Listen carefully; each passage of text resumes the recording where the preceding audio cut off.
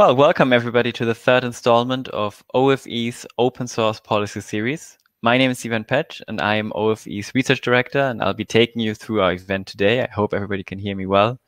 For those who don't know us, Open Forum Europe is a Brussels-based think tank working at the intersection of open technologies and public policy. So why did we decide to put together an event on open source and automotive? I think the general issue that prompted us needs really little introduction here. The EU is behind on digitization of its industry. And we all know the headlines. And if you work in Brussels, you will have seen those headlines on the cover of The Economist. We also all know the number of European companies leading digit in digital is pretty small. Usually there's SAP, and then we're pretty fast done with the list. Um, that is what, where policy comes in. And the European Commission notes in their strategy documents, Europe is a continent of industry. And there's few things that are more European industry than the car industry. So we felt this was a good case study to look at how open source software is touching industry. And as someone who never owned a car but lives in a city obsessed with cars, it's clear that cars aren't going anywhere and that the automotive industry is pivotal to European success. Today, if you think about software, uh, what is becoming important to people when they today, if you think software is really important when you buy a car. Um, so there's suddenly lots of questions here. And let me be the first one uh, today to say software is eating the world. Uh, will my car drive automatically on the highway? Will it create the perfect route, taking into account charging stops? And can I plug in my phone and use that on screen? And I haven't even mentioned all the digitization that needs to happen outside the buyer's view when, for example, building a car. And so today we want to talk about what we see as one of the pieces in the puzzle to succeed in this transition. Um, the aim of this event is to work out how open source is helping the automotive sector to digitize their business, from their products to production processes, and what the sector needs to accelerate the pace of digitalization. But first, a few words from the sponsor of the OFE, OFE Open Source Policy Series, the Eclipse Foundation, and we are thankful for their support enabling us to put this series of events on. After that, we're going to kick off today's event with a keynote speech by MEP Marcel Kolaja, Vice President of the European Parliament, before we seg into our panel of true experts from the software industry, the automotive industry, and the in-between.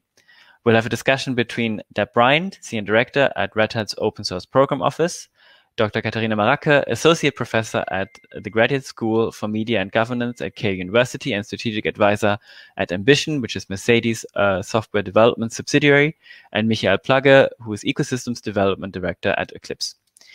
Just a bit of housekeeping before we get started. We want the policy series to be a space for open exchange, and we're very happy to take questions from the audience. If you'd like to ask a question, please write your question in the chat or use the Ask Question feature here in Crowdcast.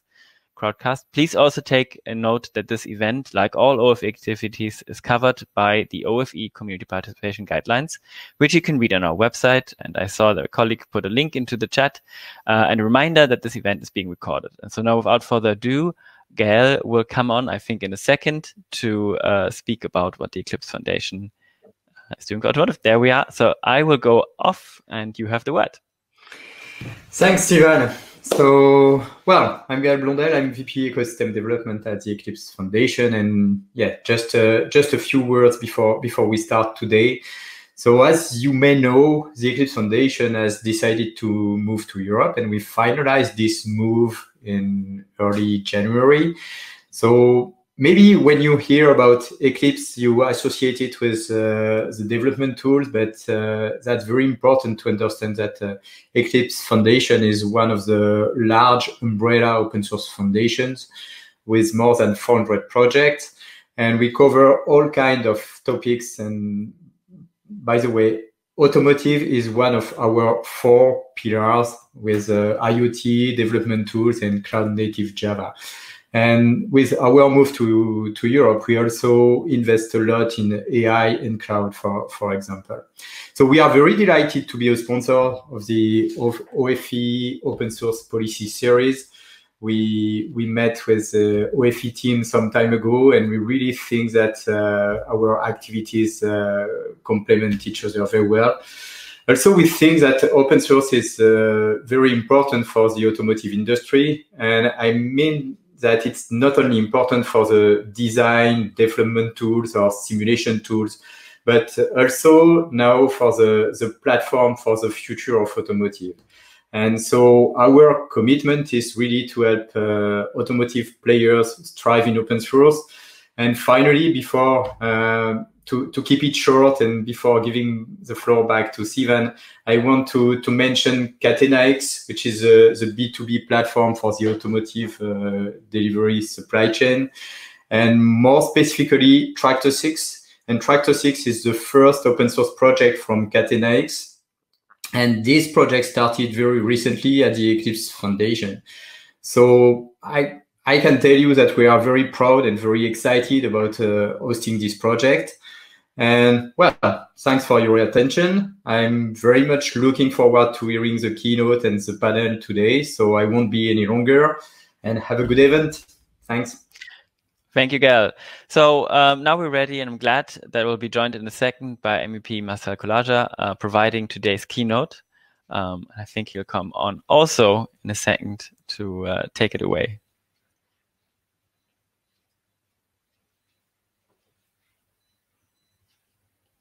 10 seconds.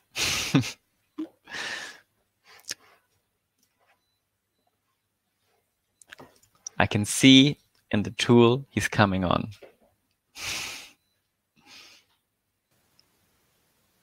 And there we are. Here we go. Great, thank you. Uh, take it away. Good afternoon, everyone. Um, thank you very much for organizing this event, and thank you very much for um, inviting me to deliver a keynote at the beginning of the event.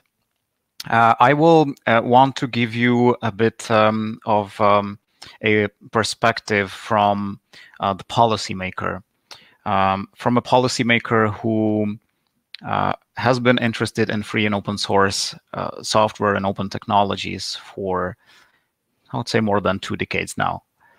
Um, and I, let me start with um, saying that free and open source software enables innovation and transparency. It, strengthens cooperation and fosters a culture of exchange. And this can and, and should be used to the advantage of the automotive industry. I recognize that the infotainment in my car has an ample of bugs. I want uh, to improve the behavior of the adaptive cruise control in my car, which also is a technology where users face bugs uh, because every software uh, contains bugs. Um, I remember that one of my late colleagues said once that his car sometimes slams on brakes on a highway while driving on uh, the adaptive cruise control, uh, which apparently is a really dangerous bug. And um, uh, if the software in the car is not open source, then uh, users hardly can do anything about that. But uh, enough of anecdotes. Um, if you think about smart mobility, you could hardly come to a different conclusion than that software has become a crucial element of innovation, uh, driving competitiveness on the market. And in order for this to work, we need a legislative framework that supports collaboration, transparency and exchange of information. Unfortunately, the European Commission failed to realize the importance of open uh, technologies in its various strategies. The EU's industrial strategy recognizes that digital technologies are changing the phase of industry and the way we do business, uh, then, with its strategy on shaping Europe's digital future, the Commission set out its vision for how Europe can retain its technological and digital sovereignty and become a global leader. And this vision incorporates ambitious principles with which all of us uh, can agree, I think. And let me quote, quote from uh, from that. Um, the Commission wants a European society powered by digital solutions that are strongly rooted in our common values and that enrich the lives of all of us. People must have the opportunity to develop personally, to choose freely and safely, to engage in society regardless of their age, gender, or professional background. Businesses need a framework that allows them to start up, scale up, pool and use data to innovate and compete or cooperate on fair terms. End of quote. Now, however, um, when it comes to uh, concrete initiatives to make this happen, the strategy doesn't mention any action about free and open source technologies. Uh, then the IPR action plan uh, deriving from the industrial strategy goes the same direction. It talks about smart uh, IP policies that can help companies to grow. However, it completely fails to recognize the difference in industries. It aims to encourage and assist companies with uh, so-called intellectual property um, uh, registration uh, to uh, to improve competitiveness and resilience, but introduces no answer to the existing problem of excessive um, uh, patent litigations and the issue of patent trolls, which is a huge problem for many innovators. Uh, these commission strategies uh, came at a time uh, where uh, when there are ample of lessons from the COVID-19 pandemic.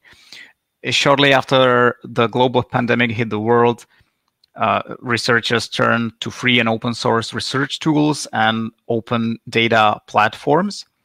Uh, the combined efforts of scientific researchers and free software developers have accelerated research on coronavirus uh, to unprecedented speed. Uh, medical professionals were working together to share in information uh, on how to repair vital equipment, while others built open hardware alternatives.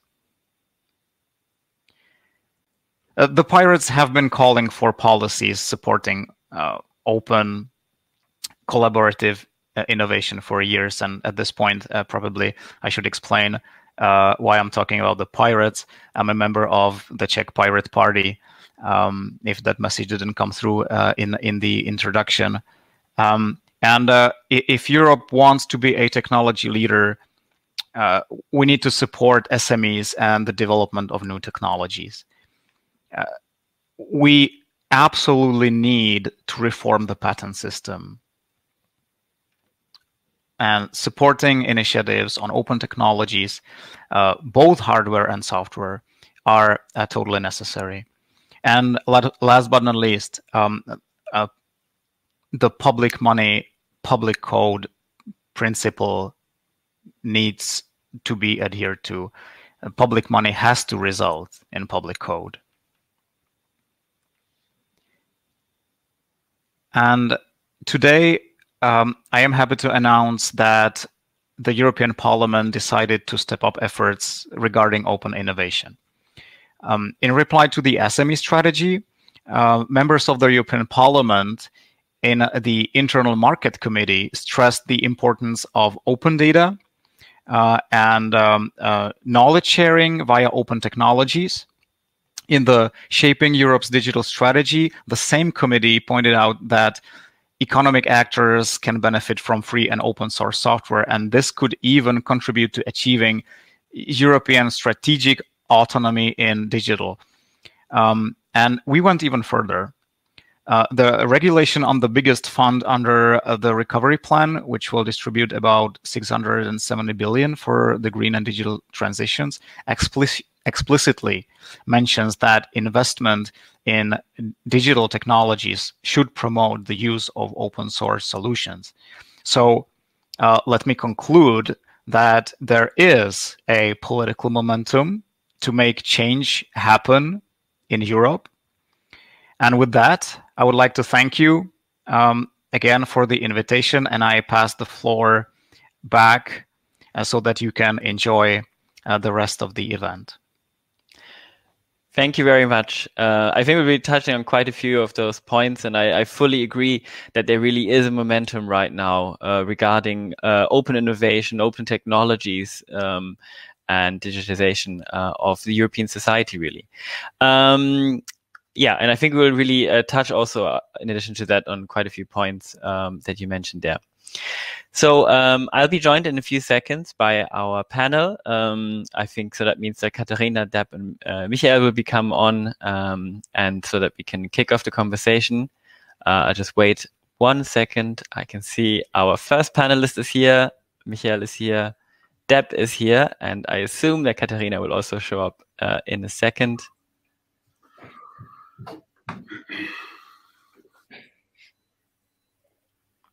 I want. I actually did want to start with Katarina, but you know what? We can we can uh, we can turn it around. How about uh, I start um, with Deb? Um, it would be great to get from you to just start things off. A 90 second answer. Um, just kind of understanding a bit from the perspective of a software company, because we'll hear in a second more about the, the car perspective, the automotive perspective. Um, what is open source bringing to the automotive sector in terms of um, in terms of uh, uh, sectors and um, um, yeah, what is what is open what is open source bringing to the sure. sector? happy to. So, uh, open source as a collaborative software development model has transformed a number of industries in recent years. Uh, we've seen this, for example, in telecommunications, where software is now literally redefining networks. These are companies that were not known as software companies before that have become so. Uh, these thus also involves companies who would otherwise be considered competitors that are working together for mutual benefit. So I think this kind of transformation opportunity has arrived for the automotive industry as they consider digital transformation. Development models in open source can uh, include transparency, open licensing, the kind of open culture of collaboration that we've seen in other sectors. And these things are huge force multipliers with regard to open innovation, which is a, a key goal for the initiatives we're talking about. Uh, open source development provides a foundation for developing shared technologies, and then the participants can build upon that and improve to their, their own, own ends. Uh, I guess my final comment would be that open source and more currently open source hybrid uh, cloud uh, mm-hmm. technology today and edge ecosystems provide a huge opportunity for automotive to innovate faster, more safely, and with greater regard for end customers. Great. Thank you very much. Um, now to, to kind of hone in on the, the automotive perspective uh, specifically, um, Katharina, well, for me, Mercedes, they build cars and, and as last I checked, that, that is, that is hardware. So why did Mercedes create MBition, um, an organization dedicated to software development? Um, and would you say that Mercedes now is a software company? Well, thanks for bringing up this question. Um, yes, you're right. So Mercedes builds hardware, so we build cars. And um, I think it's important to notice um, what Deb has already pointed out um, open source has you know transformed a lot of other industries and it's about to transform also the automotive or the car industry.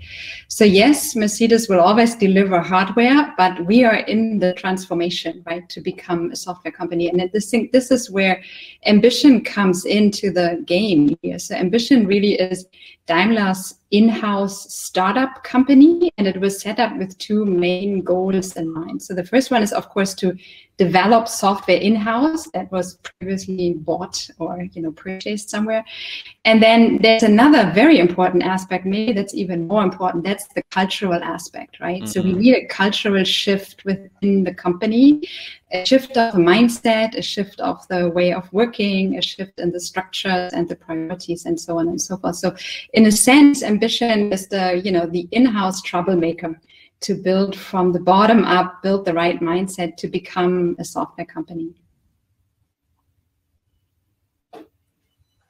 As I'm trying to find the mute button. Great, uh, thank you, Katharina. Um, and now uh, something that I called now before, sort of the in between uh, between software and automotive. Going to Michael, I mean, Gael told us just now about Eclipse's move to Europe and also emphasized a kind of Eclipse's um, commitment in automotive. But I was wondering, since I know that you've been spend uh, spending a lot of time in different uh, companies in the automotive sector and the automotive industry, um, in different roles, also, um, if you could kind of give us an in intro to how an auto automotive company is impacted by the increasing use of open source, but also in some sense open innovation and collaboration? Yeah, yeah, sure. Thanks a lot, Stephen. Yeah, um, so I started to work on automotive software 20 years ago. It was not related to open source software. It was very much closed software development. Um, but what I would like to point out, if we talk about automotive industry, it's not the automotive industry, it's not the automotive company dealing with open source software. So I usually try to separate this in three different layers, I would call. On the first layer, what I see is in-car software plus connected backend software, software which is experienceable by the end user, by the customer of the uh, car manufacturer. If you just heard from the anecdote, something failed, the the in-vehicle infotainment system doesn't work well. But we also talk about software which is end customer relevant. I think, let's say, software and braking system, software and steering system, which is not directly visible to the end customer, but um, yeah, gives safety to the end customer. That things work, that cars are more reliable, that the value of cars is much higher than it was in the past. The interesting stuff here is that this kind of features, this kind of software is directly impacting, let's say, the top line, the revenue of an automotive company, right? So it's the features which can be experienced by the customer. So customer buys a car because he sees perhaps a certain feature in the drive assistance area or a feature in, in the uh, in the infotainment domain.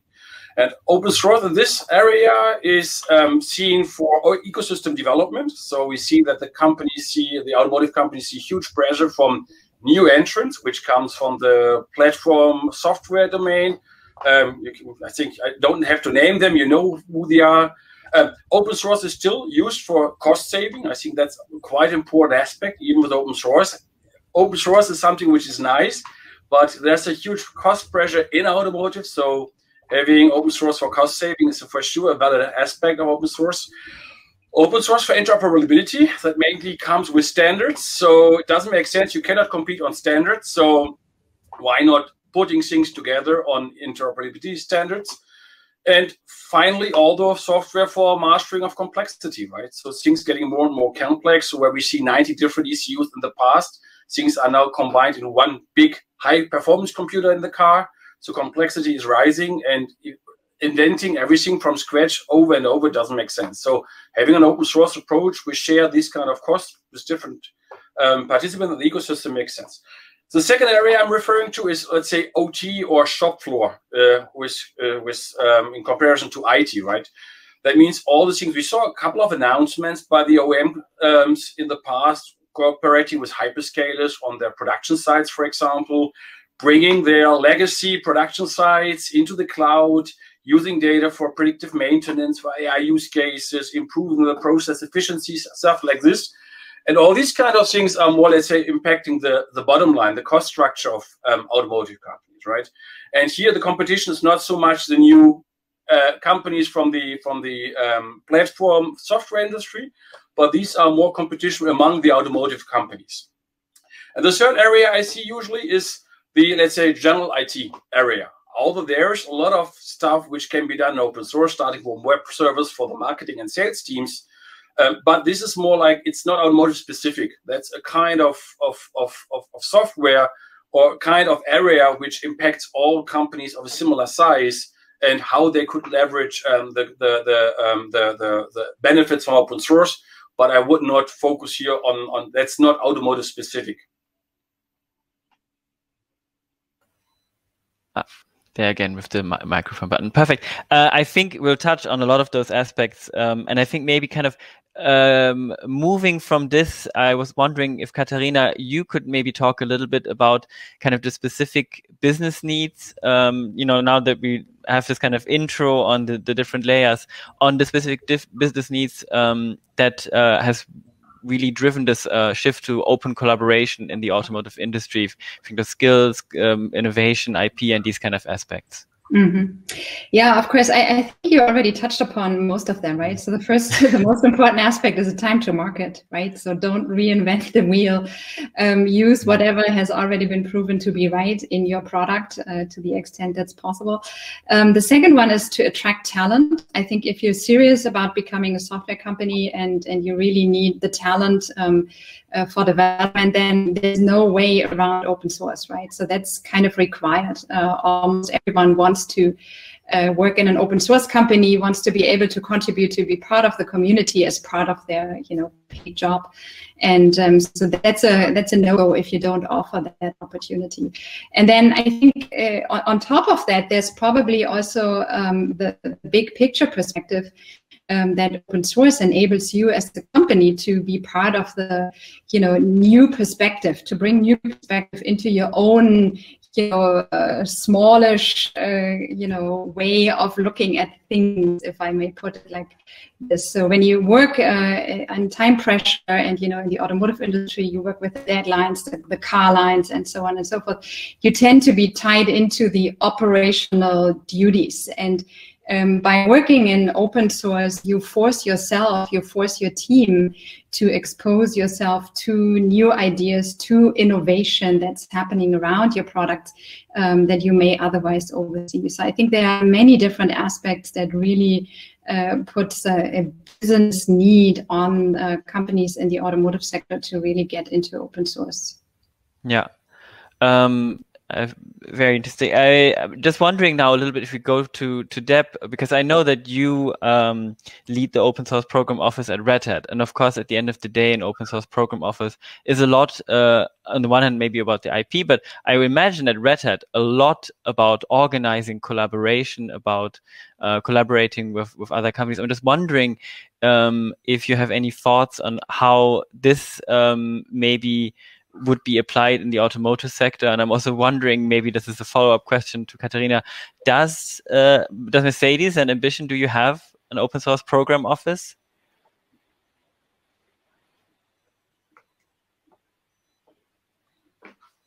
Deb, do you want to go first, or was that directly to me? yes. Oh, sure. Oh, I'm sorry. I thought you were following up with you first. you go first.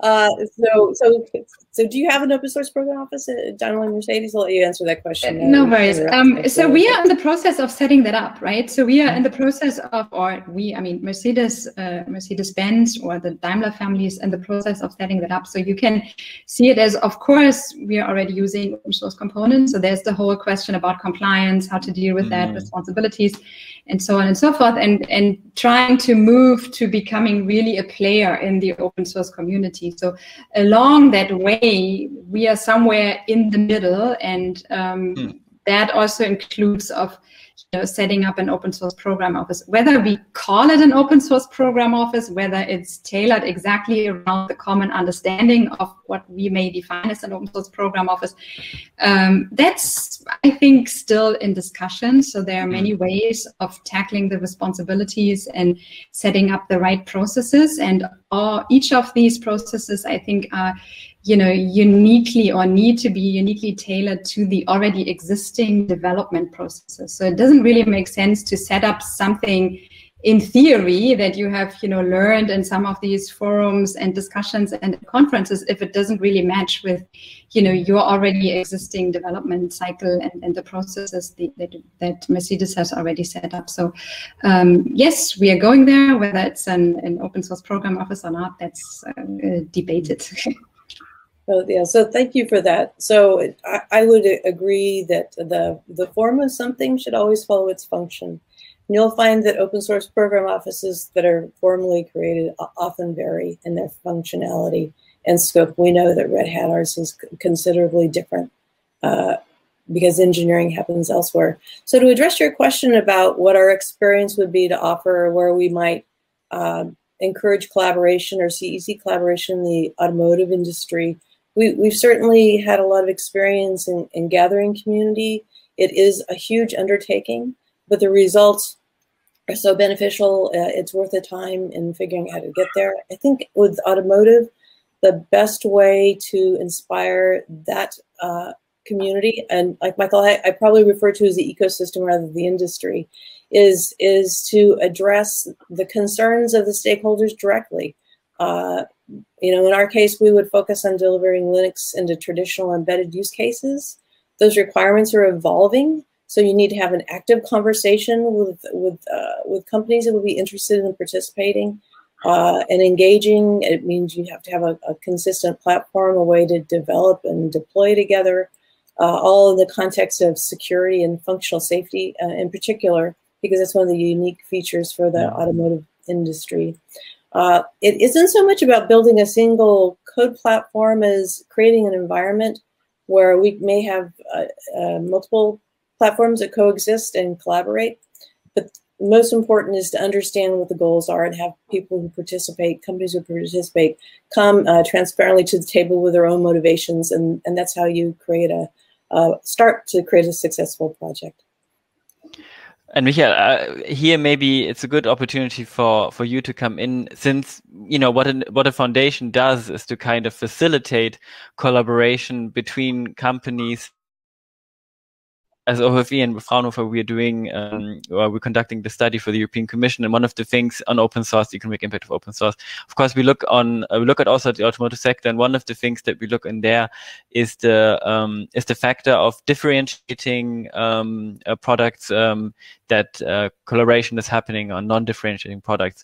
So I'm wondering a little bit if you could talk about kind of why this uh, sharing um, of collaboration, uh, sharing of development um, in the automotive sector has become more important, and where do you kind of see the potential for common goals um, in in the automotive sector and the development and the software area? Uh, maybe before I answer that later part of the question, I would like to focus a little bit on on, on, on things coming into my mind. Is um, if we talk about open source, it's not clear to everyone open source means. There are different flavors, let me call that one of open source, right? And I think some of the standards expectation to open source that there's a certain kind of openness and transparency. But just uploading something at one of the coding platforms is also open and transparent. But usually it's not enough to force foster collaboration and partnership between different partners. Mm. So what we see in the automotive industry that there's a certain expectation when it comes to governance structures, starting from antitrust, but also have a clear understanding how I can work together. What are the rules? What is the level playing field? And that's something which usually a foundation can provide quite well. On top of this is all what is quite important is vendor neutrality. That means it's, you know, we're talking about products which are on the market for 10 to 15 years. Mm. And if there is a control of an open source component by a single vendor and that single vendor decides not to go ahead or doing similar, um, it's a problem, right? It's, it's it's not a smartphone you, you change perhaps every two or perhaps every four to five years. We're talking about products which are in the market 15 years or even more. So that's something you have to consider. Um, and, and I think what is interesting, I think you mentioned that um, open source does not mean that everything is is leveled. There are no differences. I think people think if you do open source, you cannot differentiate any longer. And I think that's not true. I think there's areas where you can cooperate on, I call it the underworld, or we talked about what I mentioned before, interoperability. But mm -hmm. there's should be, and that's at least from the Eclipse Foundation, always a point which we think is very important. There is place for differentiation.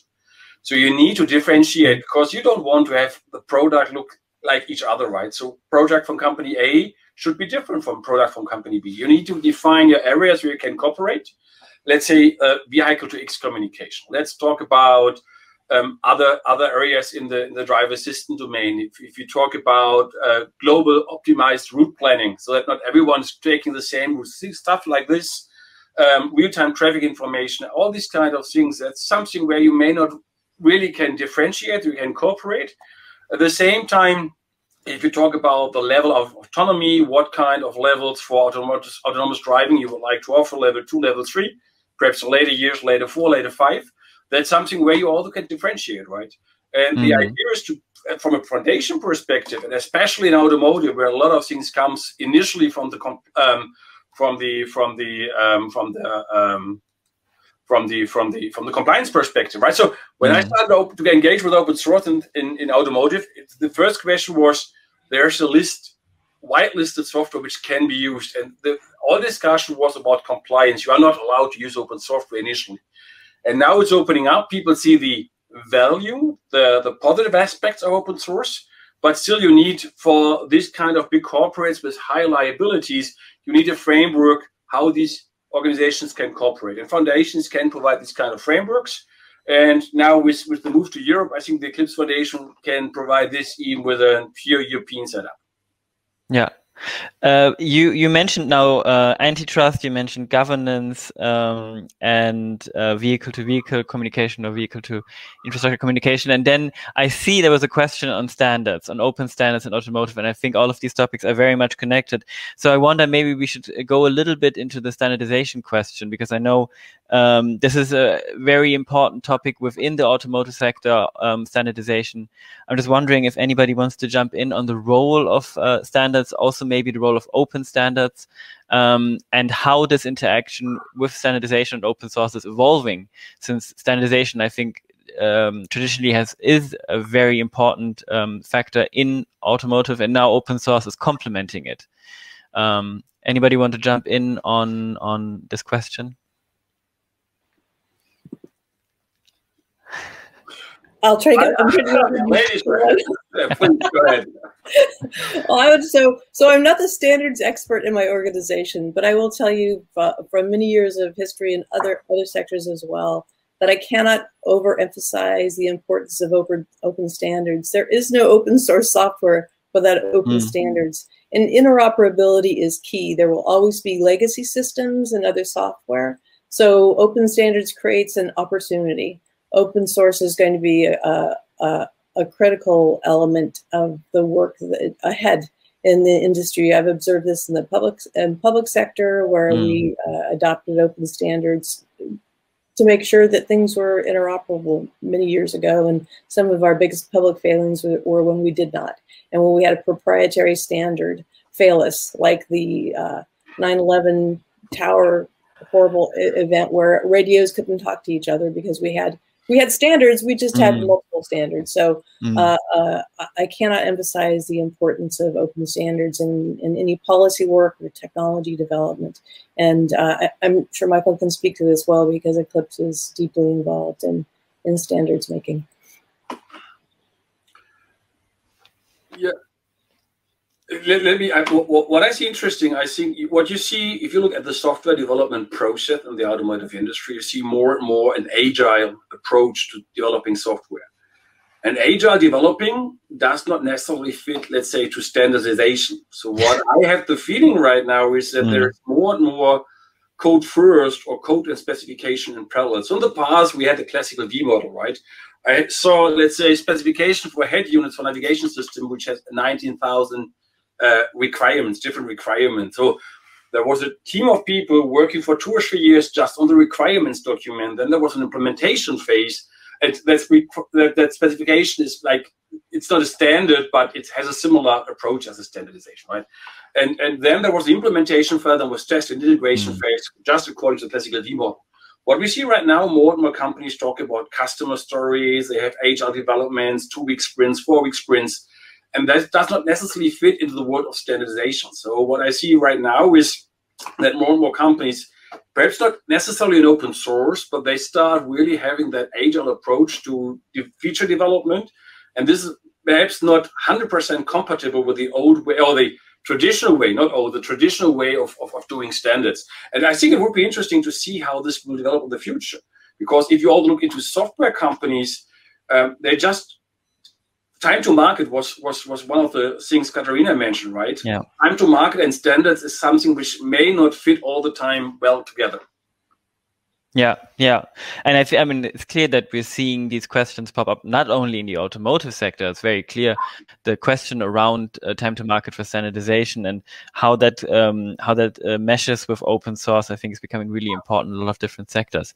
Um, I'm thinking we kind of maybe uh, in a very specific topic, and I think maybe we could hone in on some of the really practical kind of technical examples um, where projects are making a difference in terms of reusing of components, in terms of kind of the broader open innovation potential. I'm wondering, Katarina, if there's any examples that you have from your work at MBition, from your work at Mercedes, um, here where you can talk about how open source is really changing the way um, an automotive company is approaching um, a project, a product um, compared to maybe five, ten years ago.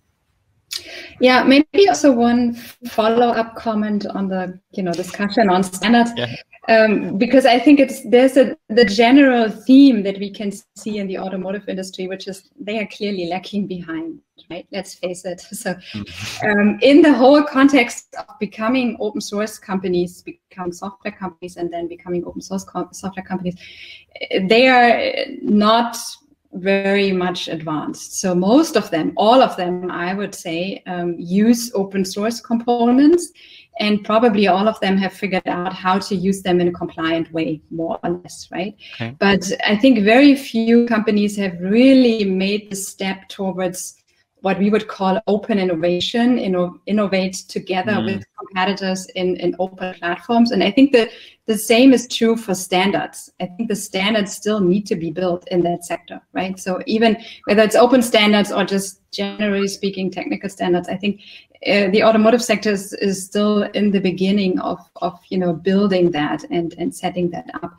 So um, with regards to you know open source projects that really make an impact, I think they, they still need to be developed right? So we, we are really at an early stage. Um, mm. It's not uh, that you can say like in the in the embedded world we see everything is Linux based, and of course there's Linux in you know in, in automotive products, but I think the the real benefit of open innovation of using open source in the sense of being an open source player being able to maintain contribute uh, you know facilitate a community that step nil still needs to be done so yeah. I, I, really see uh, you know we would need to give the automotive sector a little more time and maybe help them you know push them a little bit into the right direction because this whole idea is completely new right so they yeah. were set up uh, to you know we do it in house we do it differently and we do it better and you know for a long time that was successful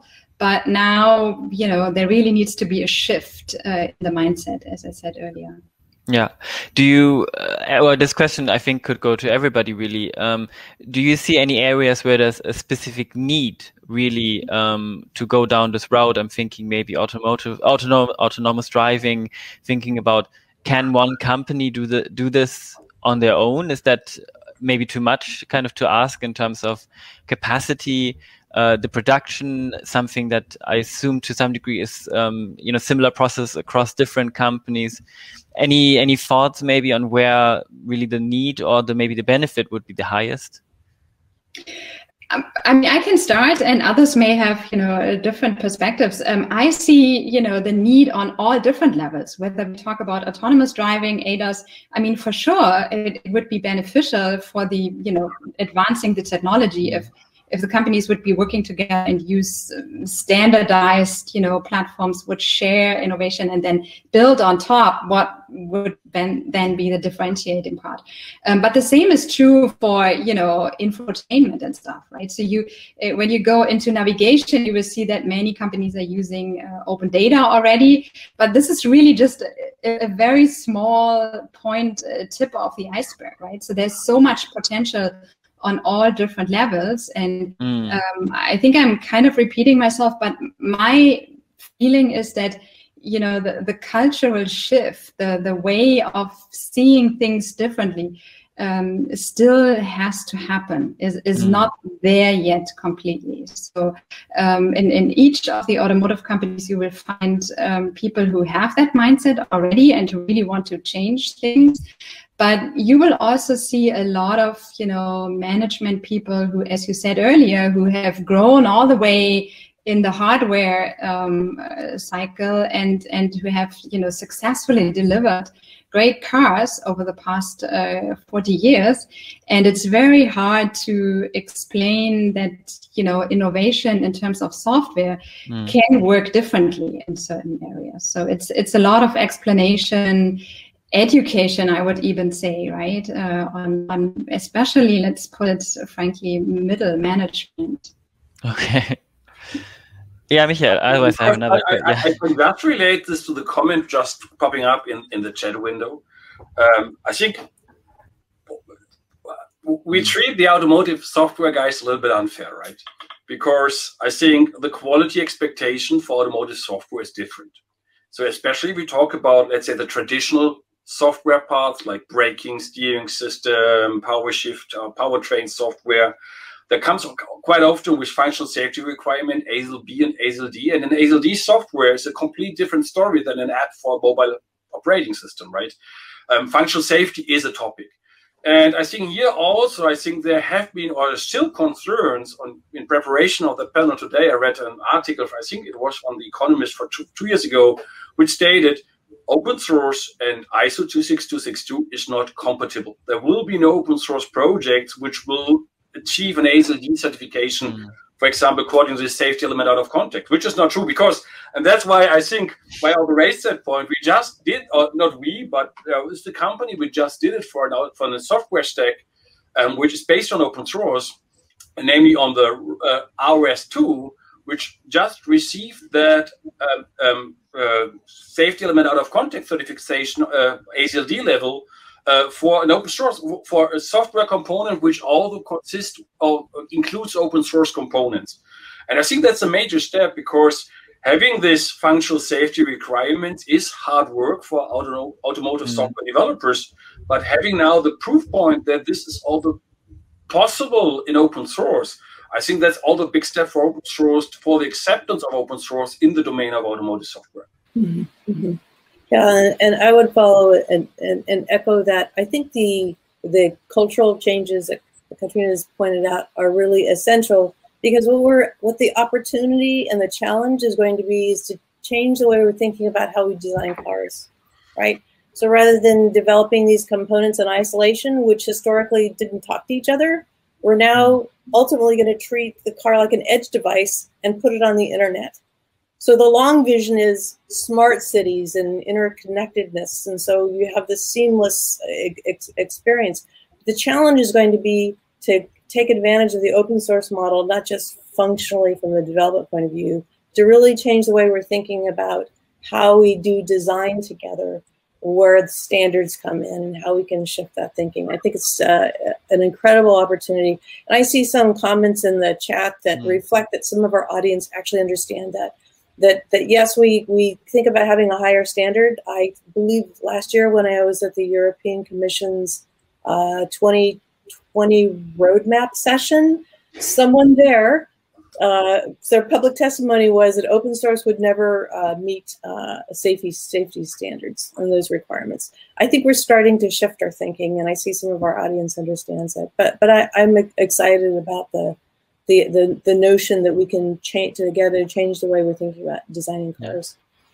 I don't think it's impossible that maybe even Jonas, who uh, I see has made a comment now, uh, has said that because I think at the was it, it was 2019 what a beautiful world that was uh, at the looking at 2020 ahead event the commission had i'm just wondering in i have to say also culture is one of the things that um, in, in the study that we're conducting also very much has stuck out as extremely important um, leveler. I'm just wondering, uh, Deb, to maybe um, uh, bring it back to you as probably the biggest open source company in the world. Do you have uh, any tips uh, for uh, convincing your management of open innovation, of open source? Uh, because I assume you have to do this work sometimes with companies that you that you work with, that you collaborate with. Absolutely. Actually, I think that's probably the most advice I've ever been asked over the last 15 years or so in any sector I've worked in is how do I convince my manager?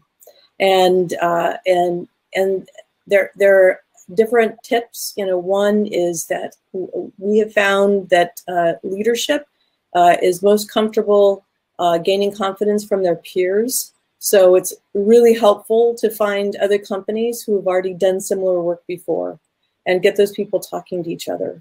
Uh, it's also helpful to find out where where some of the pitfalls are. And so, uh, with all respect to my colleague who is an attorney, uh, often attorneys and companies are the first first barrier uh, to participating in open source communities. And we have we have secret weapons at Red Hat. Their names are Richard Fontana and Scott Peterson, and we're we're uh, grateful that they will go out and talk to attorneys directly about some of their concerns because those things are manageable.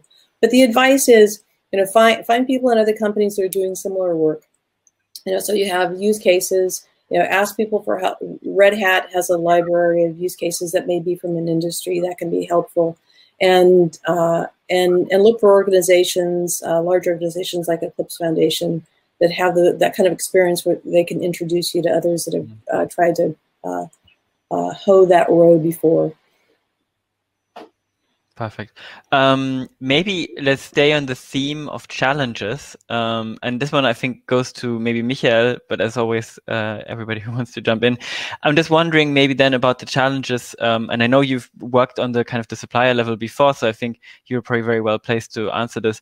What are kind of the challenges from the OEM perspective, from the supplier perspective, um, for enabling a car operating system? And maybe Katharina, there's something for you to jump in because I know that in the past, uh, lots of software or firmware was provided by suppliers of the different tiers, but this might get more centralized today. So I'm wondering maybe if you also have a reflection on on this development. So two questions. if, if, you don't mind, I, I, I would start.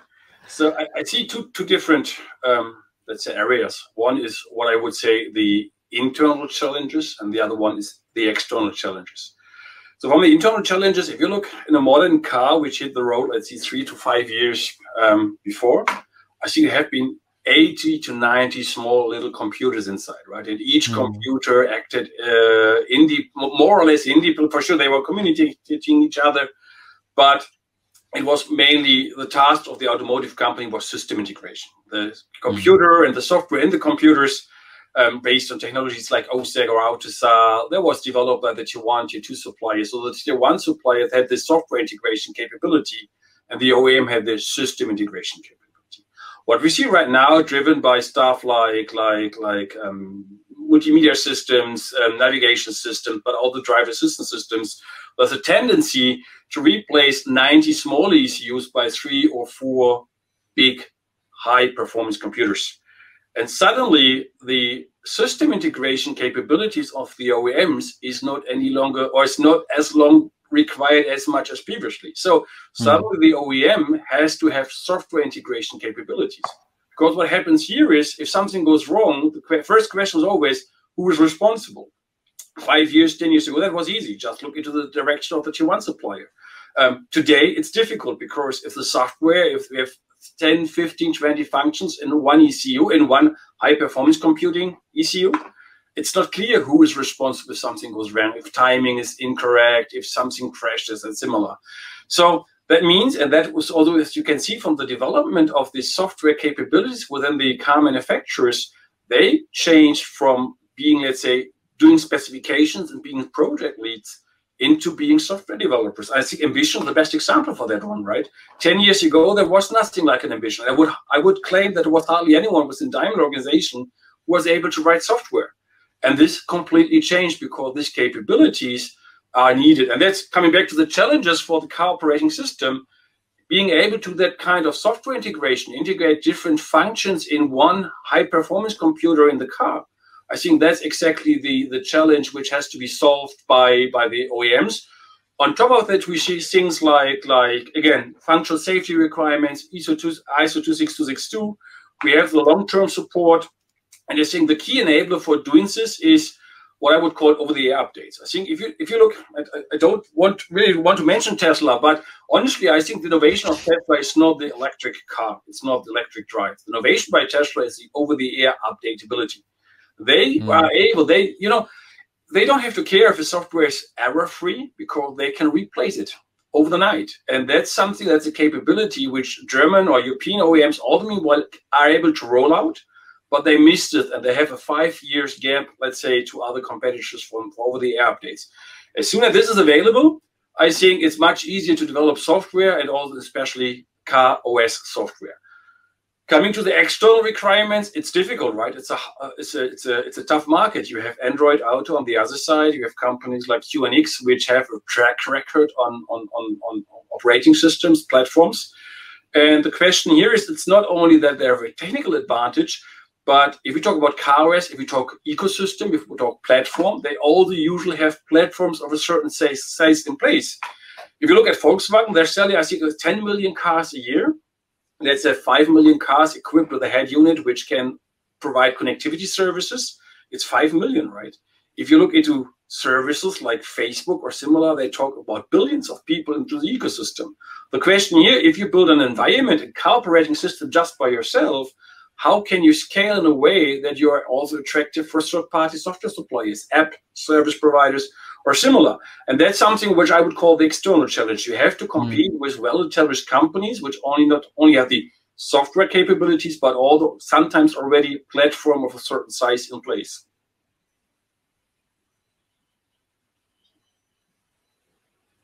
Yeah, many many topics that I could potentially address. Maybe start uh, with the first one. You mentioned Tesla. Of course, Tesla is uh, five years ahead of all of the European car makers. That's absolutely right. It's not only in terms of electricity; it's also connectivity, right? So what they are doing with the Starlink now, you know, um, there's a, there's a real gap. On the other hand, they don't have the legacy, right? And numbers prove that, you know, connectivity and electricity is not the only thing that the customer cares for. So it's a very complex topic. Um, I think the discussion about Tesla, um, as much I, I would love to continue on this, um, I wanted to make one final comment on the on the safety, functional safety and security requirements, mm. because I think this is, you know, quite often it's being put as an obstacle. And I see Jonas already posted in the chat. Hi, Jonas. I think he can probably speak much better on this than I can do. But, you know, I've seen this in in different industries that you know there's always this argument of you know we can't do this because we have special requirements. Talk to the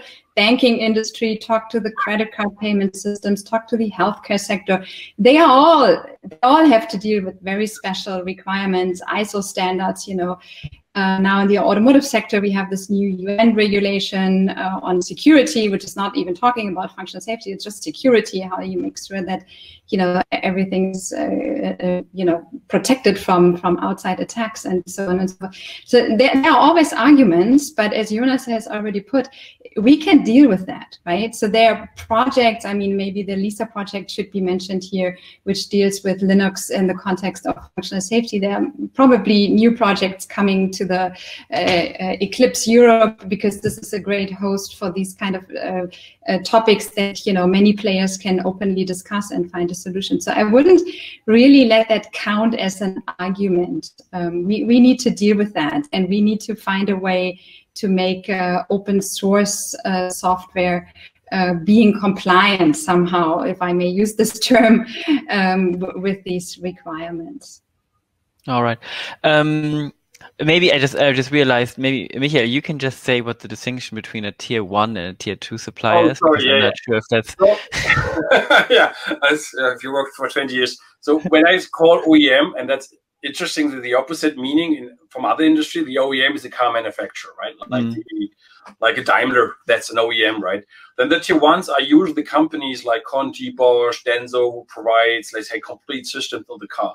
And then you have a tier two or tier three supplier, which provide part of the system. Could be hardware parts, but could be also mm. software parts, right? That's let's say just my previous company I called for a company called Elektrobit. Elektrobit delivered navigation software to another company. That company integrated the navigation software into the head unit and then delivered the final head unit for to a company like like VW, for example.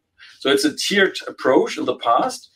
And that's also interesting if we talk about and it's a strong hierarchy. So automotive the complete automotive industry is driven by strong hierarchies, right? So the business mm-hmm. relation. If you look at how many end customers from an industry perspective you have, so how many car manufacturers are still there out there? 15, perhaps 20. So everything at the end of the day, all this projects, all the work ends up in 15 or 20 companies. Now with open source, suddenly this hierarchical tiered industry and the way how these things work together suddenly is a tier three is perhaps at the same level as the OEM. And this is something which all has to be learned by the OEMs. The OEM are used to control. And an open source environment, usually, at least an Eclipse Foundation meritocracy, so everyone has the same voting rates. In, in the, from an OEM perspective, perhaps worst case scenario, right? Having this kind of, of, of I, level playing field for all participants of the system is something the, the complete industry is not used to. I'm not saying that's that they cannot get used to it. But at the moment, all the structures, let's say from the purchasing department and similar, is complete, still focused on this on this pyramid of Mm. the hierarchy. It is almost something philosophical um, in a sense because um, you were speaking before about integration, you know, between the suppliers and the OEM integrates all of these um, disparate pieces. And then uh, open source, of course, a big part is integrating lots of different open source components. Um, and here I'm wondering a little bit, and this is the lawyer's perspective. We talked about uh, functional safety now a bit, and I'm wondering this goes to Katharina because I know that you're a lawyer. Um, when integrating open source components, what is the liability? Uh, what is sort of the liability situation when Mercedes has their first uh, auto um, automated car out and you know the the the negative scenario let's say happens and it crashes who then is liable? The original su- supplier of the open source software or maybe even some community person some poor community person who's who's um, who's um, supporting uh, a piece in there in in the, let's say web of software that's being used. So i'm just wondering if you could um, yeah uh, expand a bit on that Yeah, I think it, it goes also back to what um, Michael just said. I think in the past, or maybe that's still the current framework in the automotive industry, being used to this hierarchy of different tier suppliers, the automotive industry really likes to push the liability by contracts to the, the tier one, tier two, whatever, right? So in the contract, you clearly have that that section that you know who's responsible who's liable for what. And that whole setting is currently changing. And frankly speaking that is a real challenge right Mm. um, especially i mean i don't want to go too much into the details here but when we look at open source components and the, the, the common open source licenses that we all know by the open source definition um, most of them have a disclaimer in there right uh, you, you get rid of all the, the liability that Mm. unfortunately in the german context is not valid. And I'm pretty sure in, in most other jurisdictions, we have a similar legal system. So you can't really get rid of the full liability. You will always be liable for what we would call gross negligence, right? So you cannot say mm. I'm, I'm completely out of the game. I, I waive everything. And this makes it tricky. And I I see certain concerns, especially when it comes to allowing people um, in the company to contribute to open source projects. There's always the question so if you you know work upstream and and someone else implements that system that project whatever in the car um, and then the car crashes as you have just seen who is responsible will, will we as a contributing company be eventually be responsible or liable for that and uh, on top of that, we also have the, the product liability law in the European context, which is you know translated into the, the German context uh, or the Produkthaftungsgesetz, which is a nasty beast that explicitly says that you know the, the supplier is liable. And eventually, if you break down, then that would go to the original software developer, probably. Right? But this is all, I think, in the process. And I would be a little bit provocative here because you know this is also a policy event. I think we need uh, clarity. I think we need a Yeah. clear framework on who is liable for what in the end, and that should be, you know, that kind of framework should be done with all the players around the table. So it should not be done by you know people who have a legal expertise but don't know how automotive works. Um, I Mm. think the automotive industry has to be invited and has to be around the table to see what's feasible. But there's definitely a need for you know policymakers to help uh, provide clarity on on how this can be handled. Yeah, thank you. Um, I'm thinking about because you now speak about um, um, kind of the the collaboration between the, the suppliers and uh, industry, and I'm wondering maybe Deb, if you could talk a little bit about what is necessary to achieve a good community, um, a sustainable community in some sense, maybe around a project. Um, you know, one would assume that this often includes the OEM. Let's say in the let's let's say I guess in the automotive sector, the OEM and then the different suppliers. Um, what is necessary to be put in place to have a good community, good collaboration to uh, achieve kind of the common goals?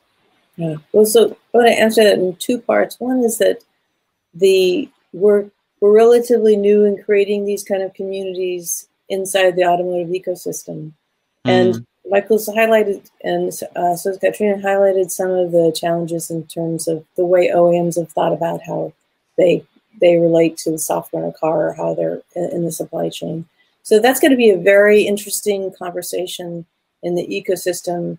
That's but will ultimately be centered around projects that are launched and how mm. how how those organizations and commercial concerns enter the ecosystem. What makes it successful, or what what what makes it successful? One is really starting with a very clear understanding of the problems you hope to solve together. You know, if you uh, I mean, this goes for most things in business. If you you don't have a really clear definition that everyone looks at and understands what you're trying to solve to, you're not off to a very good start. So uh, uh, a, a, very important feature of a community is agreement on the problems they want to solve together, and also an acknowledgement, because that community is going to include both technical and business people, and understanding where you probably most likely differentiate on the product side, on your on your secret mm. sauce, on your special sparkle you're you're putting in the project. So I'd say it starts with clear understanding. It, it uh, also should include really broad calls for all stakeholders. Uh, you'll have large companies, you'll have SMEs that'll participate in this kind of hmm. ecosystem. Mm. So people feeling that they uh, have an opportunity to be included uh, in the front end is really important. They're mm. more likely to be engaging or decide not to engage, but not throw stones at your idea along the way if they've been consulted early on. And there's a couple of ideas for for uh, for early strong starts in terms of the sustainability of the community. A, a well-defined governance model that's a right fit for the project is important. You know, not all projects need to be in a foundation. Some really do. Well, the the more complex, the the more uh, industry participation. Sometimes you need you need to have that very formal project structure. And then just along the way, all the best practices that you see in, in open source go for healthy uh, and sustained communities, good communication, transparency, uh, and uh, and all the all the other uh, technical uh, best practices that go along. Okay, thank you. Um, I want to go because you mentioned now SMEs, and I think this is something that's really on the top of mind for European policymakers. Uh, if we look at the numbers, um, uh, don't quote me on this, I think it was 80 to 90% of European companies are SMEs. So this is extremely important. And I'm wondering, Michael, um, I, I would assume please correct me if this is wrong, that from the supply, supplier perspective, uh, SMEs, uh, German Mittelstand now, maybe we talk about that, uh, is relatively important um, in, in the automotive sector. I guess maybe Katharina is also interesting for you. So I'm wondering kind of what is being done to uh, to include SMEs at Eclipse, maybe specifically, um, and uh, what are the challenges? Because what we often hear, this is from the standardization world actually, is that it's difficult to have SMEs, uh, to include SMEs in standardization activities because they don't have the time for it. But I'm wondering, is that similar to an open source or different? Uh, honestly, I think that's different. Mm-hmm. My feeling is that in projects open transparent, so each one in a vendor neutral way can contribute. There is no difference. So a Daimler don't have more power in one of our projects than a small mid-price enterprise organization mm-hmm. has in the project, right?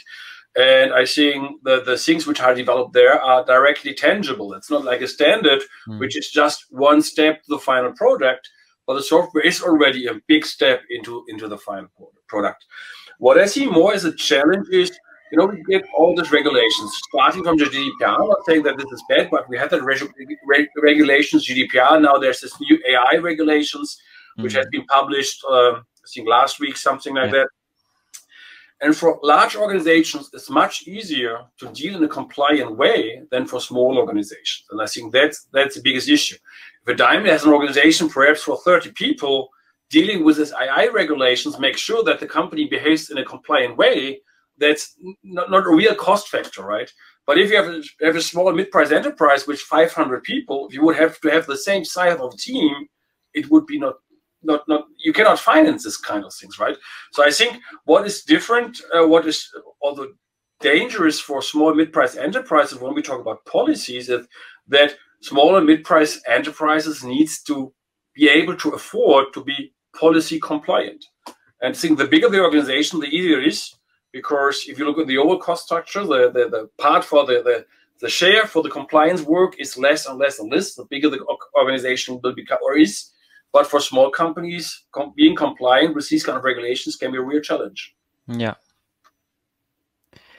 Um, maybe uh, something that I, I also have a very strong personal interest in. I, it reminded me a bit uh, when there was a, a, text around NVIDIA here. So this goes to chips and hardware. Um, we're seeing, I think, you know, the news uh, has has been around that uh, automotive companies are um, car companies are um, um, not producing sort of right now at the speed that they could because there's a shortage in chips. Now, it's clear from that that there is maybe not so much control and relatively much dependence on uh, companies around the world, mostly in, in Taiwan and uh, I think in, in Asia specifically, uh, that produce those chips that are needed to produce cars. Uh, this question was supposed to go to Katharina, so I do hope she returns in a second. uh, there she is. Fantastic. yeah, we're gone for one second. Um, open source software that provides control for companies over the mm, um, the software that they use uh, because it is in you know everybody can use it and so nobody can take it away from you in some sense. So i'm wondering in terms of chips and hardware if there are any considerations on the level of Mercedes um, to to do something in the space.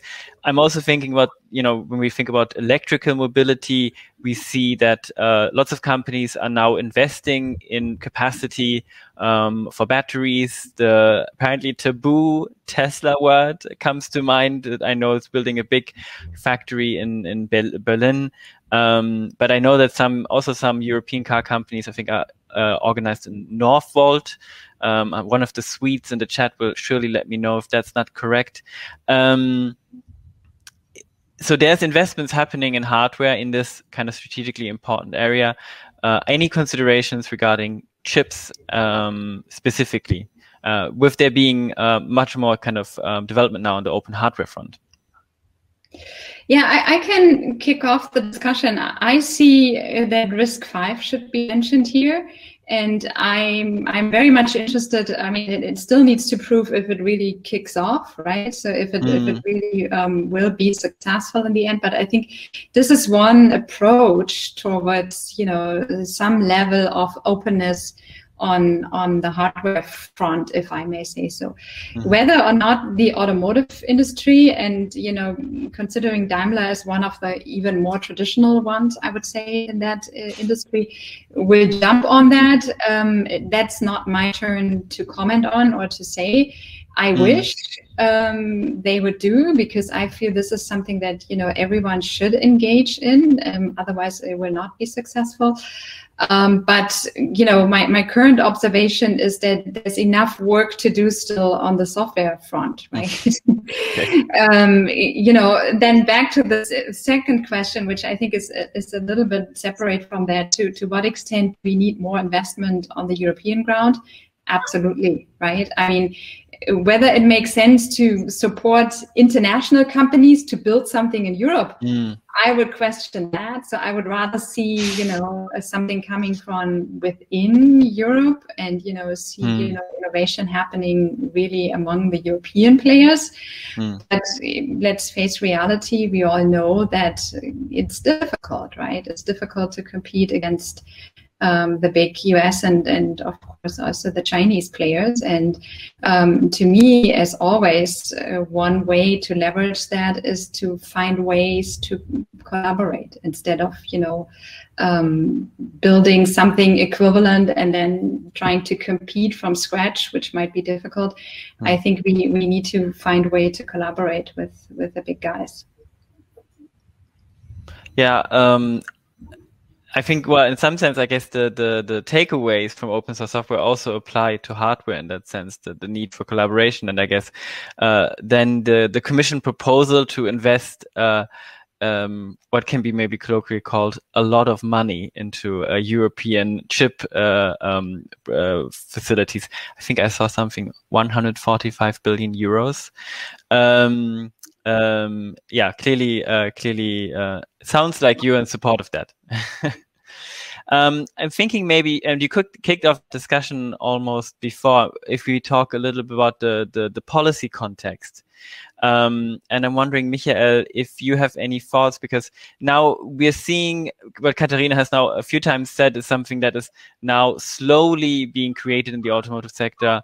Uh, uh, open source software collaboration. It's now being, um, it's now happening slowly in the automotive sector. Is there something that um, you see uh, or where uh, Eclipse is involved in kind of uh, speaking to governments, to policymakers, to make sure um, and educate, I guess, on this change that is happening and to make sure that uh, this is being um, taken into account in policymaking? So yes, so one, one, one good example is being part of that panel here today, right, to talk about policymakers and similar. Um, I think it's it's it's it's not so much about automotive. We talk a lot about let's say open source in general, mm-hmm. open source for for GovTech, for uh, for public sector, open source, for example.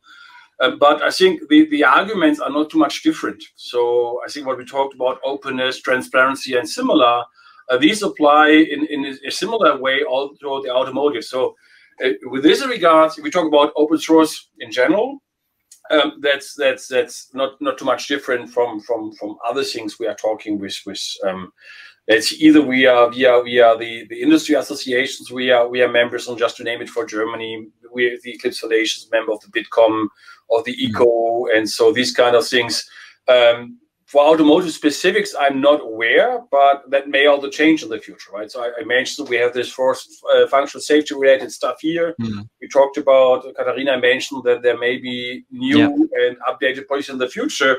And based on the technical expertise we have, our, our members have, I think it would be also quite interesting to facilitate discussion with the policymakers if they would need technical or input or, or yeah feedback from experienced people in that area. Yeah, yeah. Anybody else want to come in on this? Otherwise, uh, I have a question maybe on uh, the upcoming industrial strategy. Um, this was supposed to, I mean, well, the the EU industrial strategy that already came out last year in, uh, in I think March 2020. What timing? Uh, and now that we have a year of COVID, uh, they decided they need to update this. And I think it really happened also in the um, kind of under the impression of dependencies that have been identified through what we see with COVID. I think, you know, there's clear dependencies that we see now today. Um, so that is a thing that the new industrial strategy we hear um, will, and it's coming out tomorrow, um, apparently, will um, uh, focus on a lot. So I'm wondering is dependencies something that uh, I think this question goes out to everybody? Is dependency something that the EU should focus on with industrial policy, or are there other areas that you think make much more sense to focus on?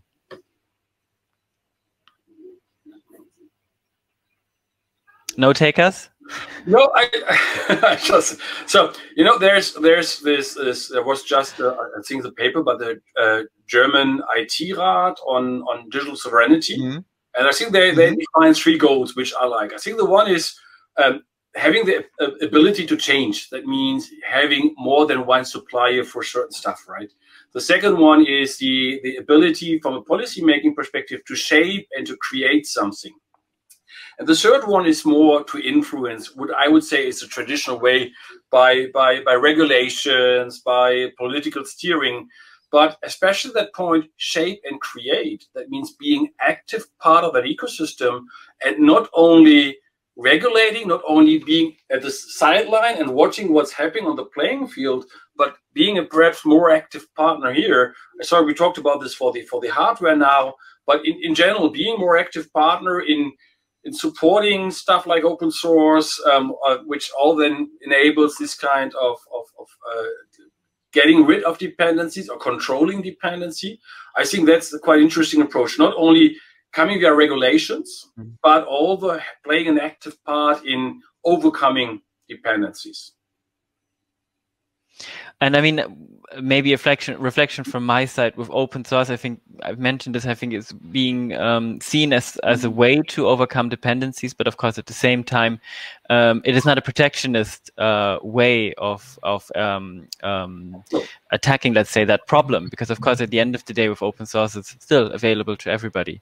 Um, so I think that's uh, well, that's maybe quite interesting.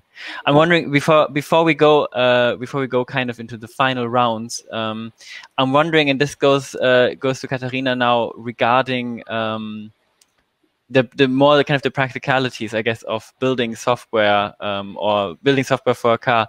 Has uh, has um, uh, Mercedes do does Mercedes ha have its own operating system like uh, Tesla? Um, or is it something where there's a lot of integration happening? So this is something that you are centralizing more? Um, I think I'm not in the position to talk, uh, you know, in detail about what the uh, uh, operating system will look like and, and what All it will be. Um, I think it brings us back to the point where we where what we talked about in the beginning, right? So Mercedes, or you, you can call the whole Daimler family, is in the transition of you know doing more stuff in house and while we are transitioning from you know hardware and and purchasing the software to be built into the car what michael has uh, you know outlined earlier as a fully you know, full prepared system of course, the, the, the goal is to ultimately control what I would call crown jewel, right? So there is a mm. certain desire of having something that is proprietary and that is then the unique user experience that differentiates the Mercedes car from the Tesla, from the BMW, from the Volkswagen, whatever. And I think that is a natural, you know, evolving process. And in the middle of that process, of course, there's the question about the operating system. To what extent that will be be fully in-house, to what extent there might be open source layers involved. I think this is all in the making, in the baking, and um, you know that's probably the, the most interesting part for, for all the automotive uh, uh, players, right? So it's not only Mercedes. You could go and, and ask the same question to BMW, and you will probably get a very similar answer, right? So we are in the in the process of you know, designing that and and finding out what makes the BMW different from the Mercedes, right? Mm. And i think this is only this is only natural because as much as we all want to collaborate in the end of the day they are still competitors and that's good right? So um, there should be the customer should have the choice in, yeah. in what car they want to buy and where they want to invest. Well i've seen the um, the announcement i guess for the the new s class no it's not it's not called the s class anymore. Uh, it's the EQ, eqs I remember this. Okay. which I, I've seen is essentially one huge screen inside, um, or many screens, screens galore, really. Um, so uh, I, I, assume, at least uh, to some degree, there have been some work has been some work uh, on the on the uh, on the Mercedes side, but I understand uh, maybe but can't. You know what? Maybe one final question on that. So to me, what is not really important is the question whether there's one big screen or two screens, or you can move them around, and you know whatever.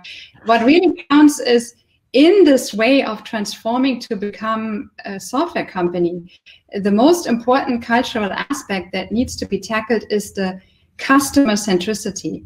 So what mm-hmm. counts is not if our designers like it this way better or that way better or I like it this way better. What really counts is will we be able in the future to listen to our customers and implement that feedback quickly? Because that's all that counts, right? So mm.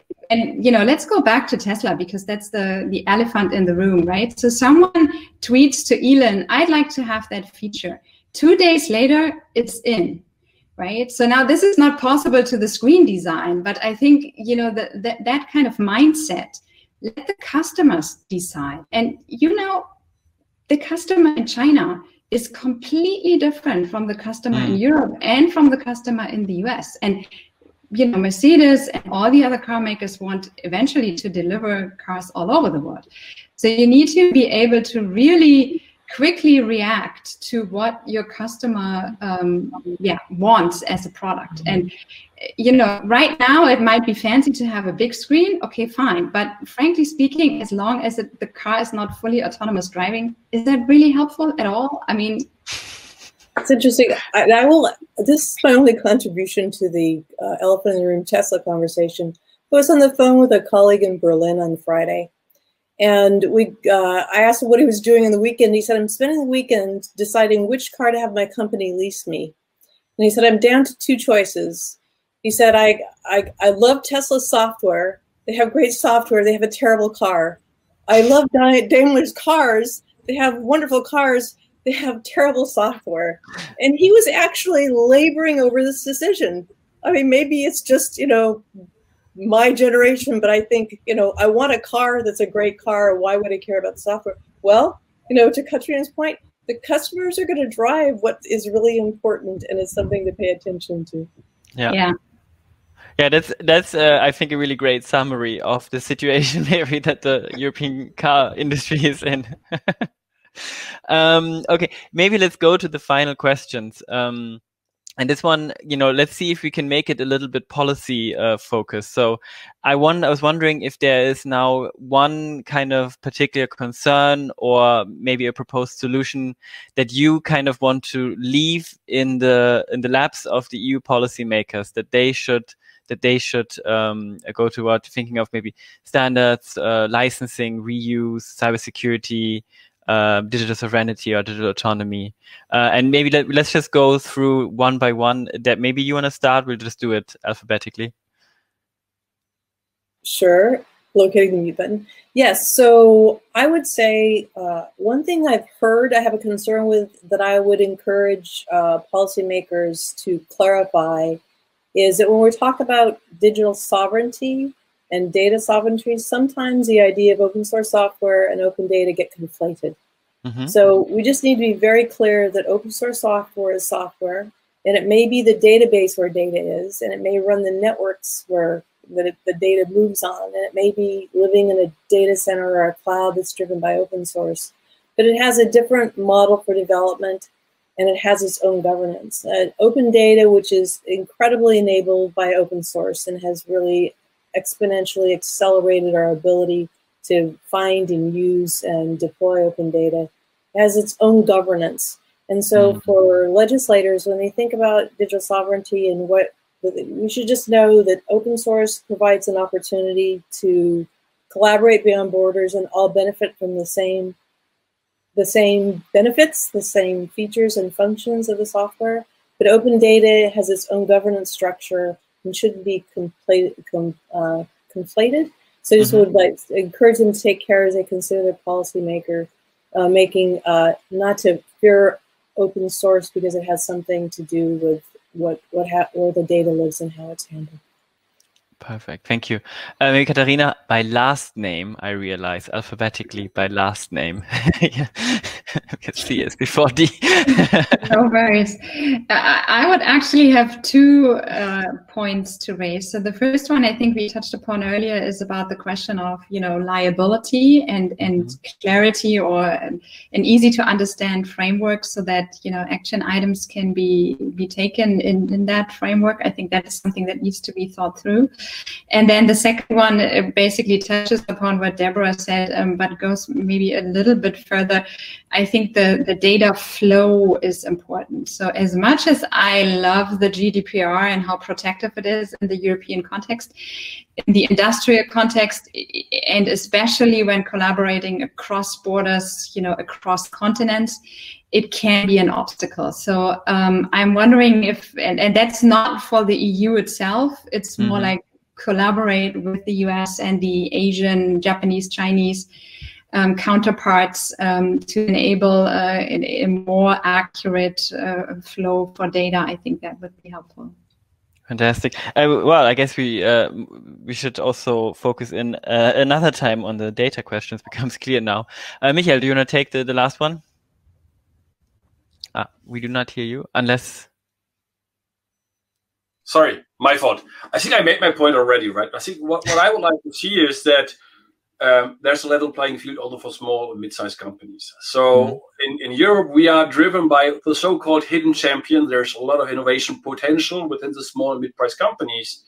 And don't, over, don't overrun them by, by, by, by, by policies like GDPR, which they cannot figure and hinder innovation by these I'm not saying that we don't need this one, but maybe we can have an active approach, right? Find best practices, support them with, with guidance, that even small and mid-sized mid-sized enterprises can fulfill this kind of regulations, maybe on data, maybe on AI, maybe on other things, um, so that they are able to compete when it comes to innovation, when it comes to features with the big corporates.